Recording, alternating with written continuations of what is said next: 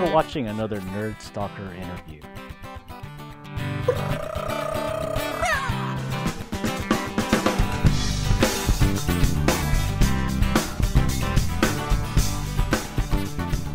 Obviously, the, bike culture in Europe is much more advanced. In, in Europe, cycling is much more of an everyday thing. You, you, you just ride your bike to work, you just ride your bike everywhere. It's not so much recreational or performance. It's, it's also that, but it's, it's, just an, it's just a utility. It's just what you do.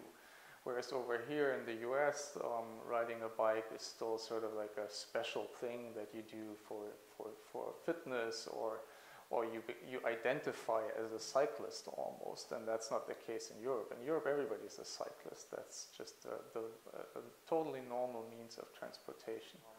The interesting thing for us is that we, we see that changing in the US now. We see a, a big um, change in how people see their cars.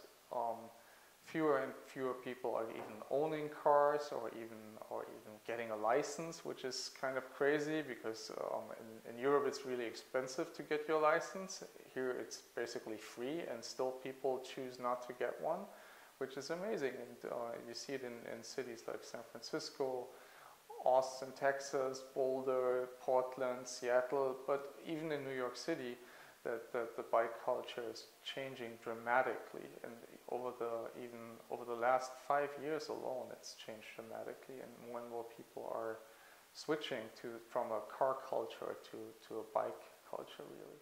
Yeah, and now more and more people are finding out that it's not only very functional, it's also healthy, it's, it's enjoyable, makes you more creative, makes you think more freely. It's just, it's just a great thing to do, and it becomes a, a very important part of people's lives. One of the main things was um, that we had the like a long, long experience of what happened when smartphones entered cars and how people began to interact with their phones and their cars and how they got connected and how they got online and so on.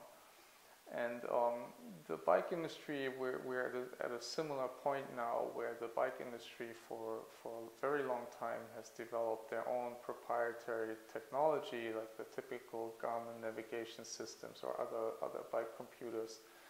And now we basically looked at that and said, well, how can there be a more powerful computer than the smartphone? And people have it anyway.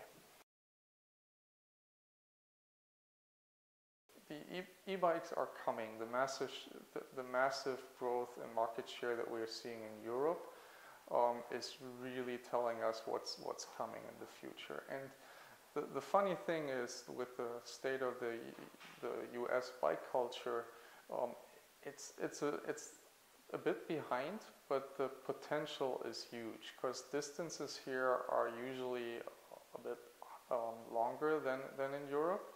So it e- makes even more sense here to get some extra support.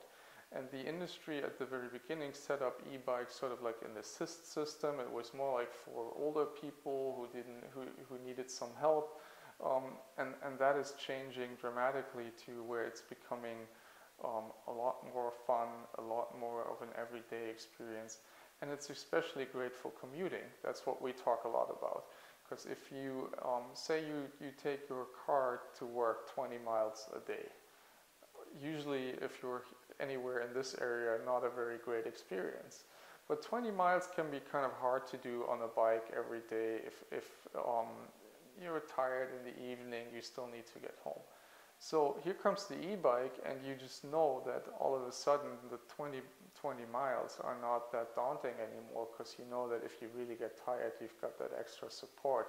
So whereas before you were maybe only ready to go 5 to 10 miles on your bike, now 20 miles, 25, 30 miles, probably not a big deal in the, in the very near future. And the bikes are already out there.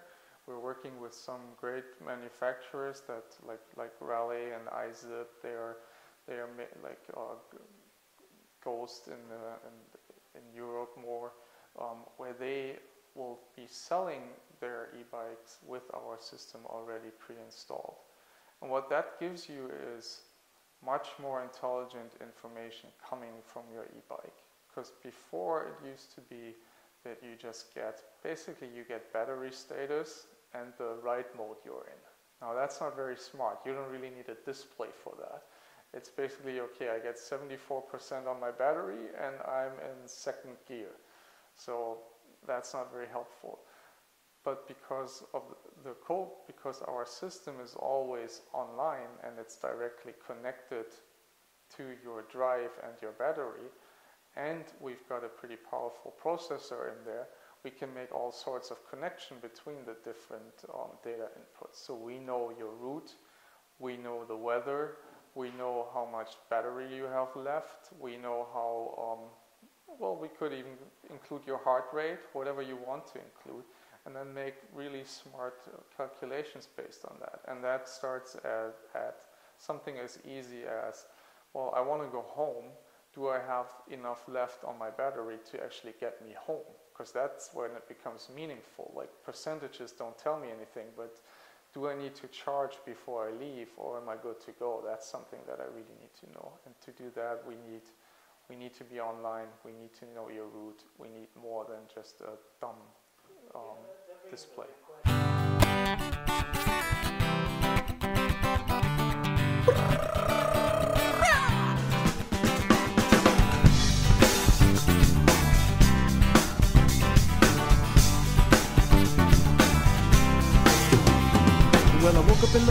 Find my girl is gone. There's a 50 on the table